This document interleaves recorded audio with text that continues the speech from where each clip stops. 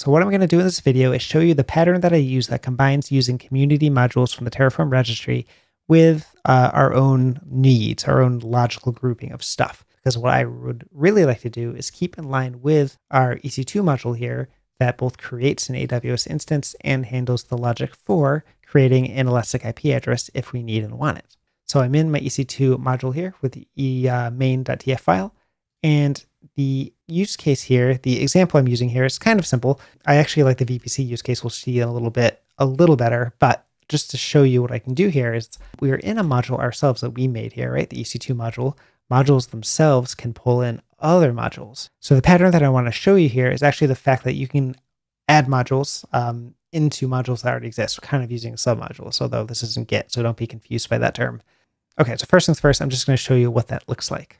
I have our resource here, AWS instance that we made before. It pulls in the AMI, the instance type.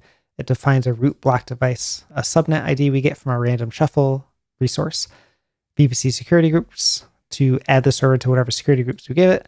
We have a lifecycle and some tags here. Now I'm going to go ahead and paste in what this looks like if we use the community module. And the community module is the Terraform AWS module, the one we saw before, EC2 instance at version 2.17. That was the latest. And then I'm going to fill out the stuff that this needs that is effectively uh, equivalent, right? I'm going to give it a name. Now, a lot of these community modules have a name variable that they want, right? Now remember, we're in a module section here, so we're passing in variables to this module. Um, the name is effectively going to be the tag that is called name, and we can, might actually end up overwriting that later down here. So don't worry about that. You can give this name whatever you want. Uh, we give it the AMI, just like before. The instance type, VPC security groups, the subnet ID, again, it's the random shuffle. Uh, security groups is var security group. Root block device is a little bit different. If we check out the documentation over here for root block device, we'll see uh, we can customize details about the root block device of the instance, blah, blah, blah. And we have a list here, and the list contains various maps of strings. So that's a little bit different here because instead of root block device just being one object like we saw before, when we are using the, um, that's actually down here, I'll show you. Right here, it's just a block, and you can actually define this multiple times, I believe. The module here wants a list, right? An array type thing of a map of strings, and each one we pass it is just going to be one of these um, items, these maps. We have volume size and volume type and a bunch of other stuff. Um, now, if we head on over to the repository, see the source code there, and go to main, and we find root block device, we already see a new thing called a dynamic block within this uh, AWS instance resource that it's creating for us. And in here we have a for each. So it's actually going to grab each root block device that we define. And then for each, it's going to fill out root block device uh, a tag for that with the following content. And this is all the options that we can pass, although the only ones we decided to use is uh, volume size and volume type. So what that looks like here is in our module EC2 instance, we pass it a list, an array of root block device items. We're doing the same thing here. Tags, we're going to merge up our default tags with var.tags, and tags also happens to be a variable that we can pass into the EC2 instance module, so that stays the same. And I think the only thing we didn't do here is lifecycle. Let's go ahead and see what this wants for lifecycle. It looks like it doesn't even have an option for lifecycle in this case. That's interesting. So we can just go ahead and leave that out for now. Right. So there's no uh, lifecycle option in that case. So we just have to decide what we want to do with that. We could create and use our own module if this lifecycle hook becomes very important to us, or we could just leave it alone for now. And in my case, just to move the video forward, we'll just pretend we don't care about this too much. But again, that is one of the trade-offs with community modules. You lose a little bit of control. Okay, so an interesting thing here is that we don't need to change our module definition here for any of these options because all the things we're already passing into our custom EC2 module, the environment, the role, the instance size, the AMIs, the subnets, the security groups, the tags, if we want to create an EIP and all that, are things we are going to pass directly into this community module, right? There's not many other options that we need to define. We don't even need to really define them differently, which is kind of nice. We actually keep that the same.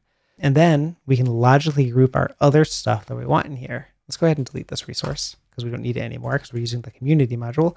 And then we can logically group in in our custom module here, the EIP, and it will create it conditionally if we want it to and associate it. Now, we no longer have in our EIP association the AWS instance resource that we created here.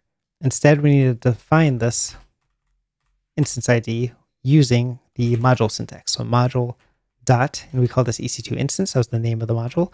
And in here, we can see how to get the ID of the instance.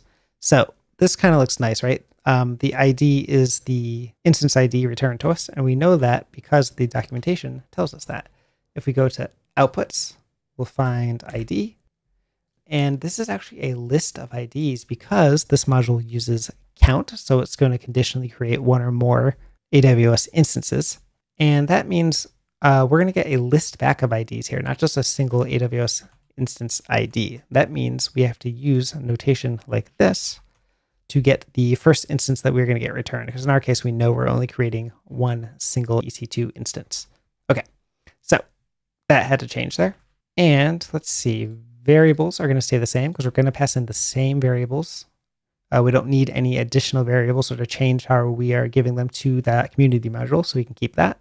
And then our outputs change a little bit, right? Because our app instance, once again, is a little bit different. So this is going to look exactly like how we saw before using the module syntax, right? So module and the module we named EC2 instance, the ID and the first ID, because we know we're only creating one instance within this module for our use case. Now, we made some changes here, right? We created or changed our EC2 module, our custom one, and in it, we reference a separate module, this community module, EC2 instance um, and because of that, we need to run Terraform init once again. I need to get into the Terraform course directory and we can do Terraform init. And we can see that it's finding and downloading our AWS module from the registry. And it successfully has initialized. So we can do Terraform plan. And I've destroyed the infrastructure in between videos as I usually do to save money. So we're going to see 34 objects or something like that still. Yeah, 34, which is actually the same as before and we'll see one of those objects appears to be our AWS instance, and it's all basically the same as before. We're going to get the same tags, the same uh, root block device settings for the root disk drive, right? 20 gigabytes is what we set in our case, GP3, and all that good stuff. So we are using a community module that's going to be better maintained than our stuff, and we didn't really change anything. We got exactly what we wanted to before using this pattern of still creating your own module, but allowing that module to pull in other community modules.